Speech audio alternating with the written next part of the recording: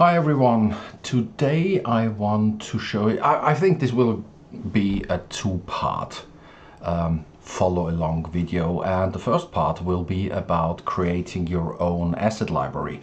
Most of you will probably know how to do it, but um, I'm just sharing my process. So um, I'm not talking about uh, vegetation, trees, rocks, things like that, because True Terrain and its partners have already uh, provided us with lots of great stuff. I'm talking about buildings and other assets and um, one of the nicest assets you can find out there, at least in my opinion, is from Kitbash 3D. And if we're heading over to Kitbash 3D's homepage, you can see all their kits in here and there are two great news. The first one is there is a spring sale where for two weeks almost where you can get um, from a choice of kits 50 40 or 30 percent off. But the greatest thing is that they are providing us with a free kit. I have already downloaded it. You just need a free re registration with the web page and you can download it for blender or fbx obj or uh, any other um, common 3D software. So I want to use that free kit to show you how I'm doing my asset library setup. Okay, so let's head over to Blender and I have already downloaded and decompressed the file. It's over 3 gig, I think almost 4 gig. And instead of opening the blend file it comes with, I have all my settings in my start file already. So what we're going to do is we're going to append the objects um, within this kit. So we have it downloaded as here, Kitbrand Neo City. So let's go into the blend file, go to object, and I'm selecting all files that start with KB3D, append, won't take long because this is a mini kit but as you have seen the blend file is about 300 megabytes but the remaining 3 gigs are the textures and the textures from those guys are just brilliant.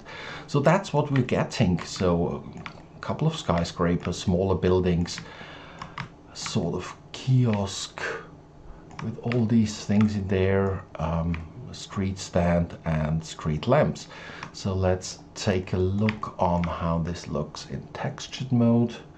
This will take a bit of time because the textures, as I said, are really great and also quite heavy. But just to show you what we're getting. So here is the rendered image or actually the, the textured objects as you can see very detailed. You can really zoom in and you have all those nice details like AC controls and things like that. So that's what it looks like. And as you can see those objects are you know separate from each other. And you can probably get a lot of these Like, I, I think even this one, I mean, take a look at the details just on this thing and yeah, so a couple of things are separate and you could use them individually, of course, but that's not what we're going to do. We're doing the opposite. So, how to set up an asset library.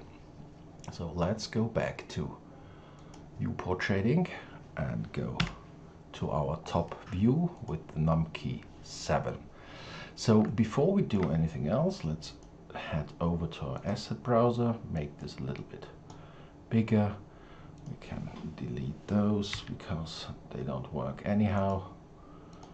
I'm going to show you how to do that in a minute. Okay, so the first thing you need to do is those um, different files and assets and objects, call it what you want, are all connected to their individual group point and we need to um, deconnect them. So I'm hitting A and then we're going to object, parent, clear and keep transformation. Now we have all individual assets available and now I'm going into my filter box and putting underscore group in here and I'm selecting all of those and delete them.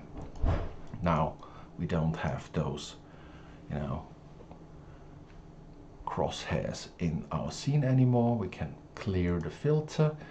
And what I'm doing now is I'm um, switching on X-ray. Then I'm clicking on one of these assets, holding the shift key, selecting everything. So all the objects within one asset are selected and then you could go to object and join or just remember control and J.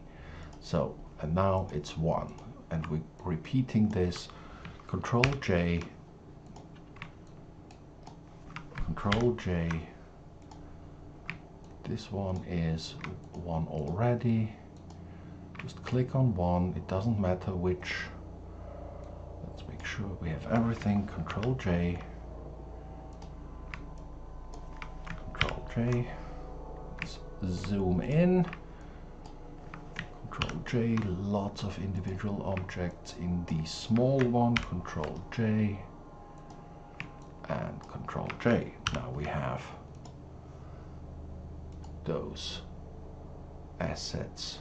One, two, three, four, five, six, seven, eight, nine as objects. We can switch off X-ray and now these things are just one object. Okay, now we could, before we transform them into assets, let's take a look at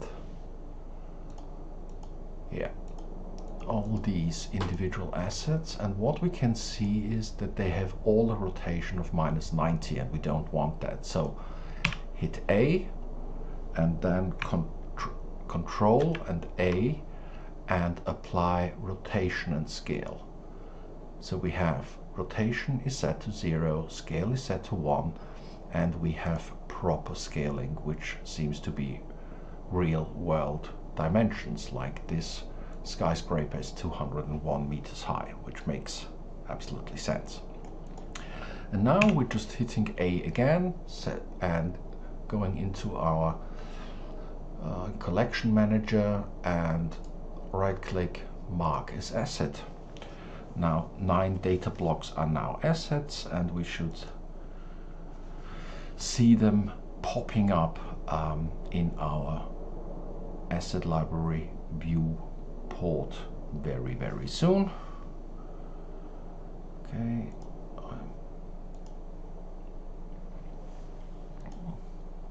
will take some time.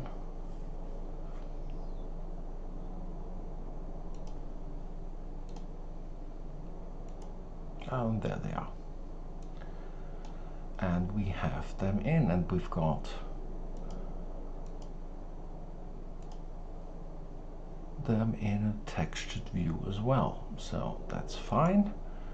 So let's go back to regular. Now, as I said before, the files are only 200, the meshes are only 250 megabytes or something, but the, the heavy weight lies with the textures. So let's bring the textures in as well. Um, so we can use them on our own models or in different scenes. So how to do that? I'm going to blend the file, go to materials and select any material that starts with KB3D and as you can see there is quite a lot in there so shift click select all right click mark as asset and you can see that those materials are being are, are being shown as as materials which is quite nice. And they're properly named air conditions asphalt hexagon banner cloth brass all these things. So let's give blender some time to get all the previews updated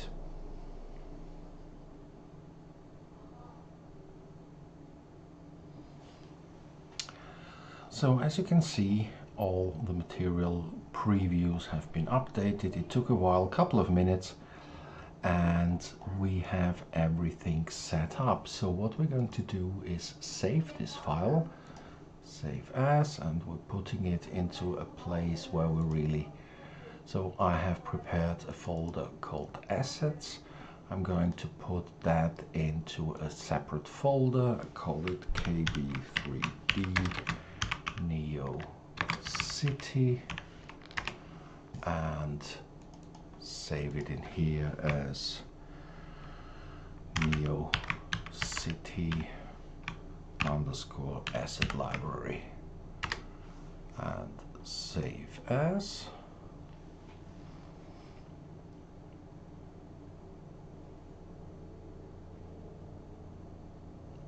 again it takes a little bit of time and but here it is now what we can do now, or at least try, is to put two separate catalogs in here. The first one we're going, going to call buildings, and the other one we're going to call mats for materials. And then I'm going to put all my buildings into buildings and all my materials into materials. I'm going to click on this Save Asset Catalogs and save the file again. However, this doesn't always work. I don't know why. Sometimes I just need to open it up again and do the catalog thing again and we're going to check if this is the case. So let's close this file and I'm opening up my standard uh, start file and let's have a plane in here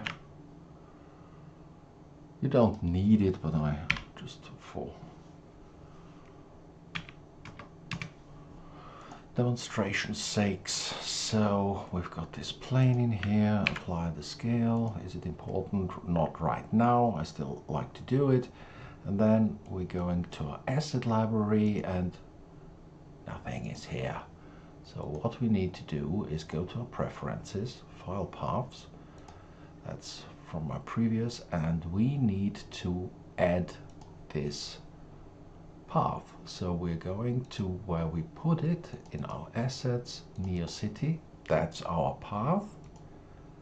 And how the name will be KB3D Neo Cities. Save the preferences, close, and then we can open this up. And as I'm, as I was afraid it's it didn't take the categories. Well, we can do it again. However, right now we can just put our assets where we want them. We can rotate them.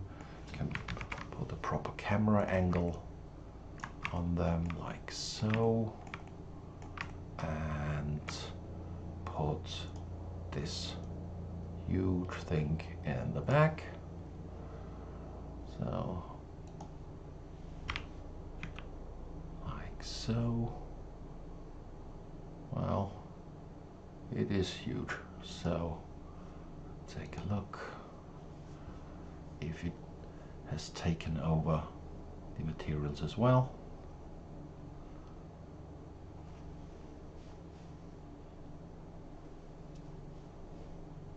and it has so if we play with our light. There we go.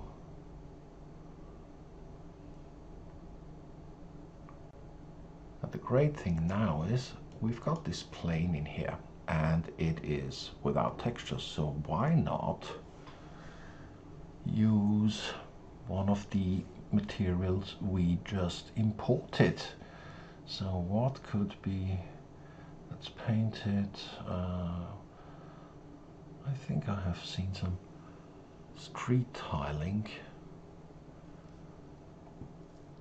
Galvanized no no no no. Oxidized metal metal metal metal metal metal. Paint plastic rubber screen street. And just drop it in here. And then you can probably exactly. Go in here and put some scale on it as well. Yeah we'll we'll have a look at that later. But it's possible to do.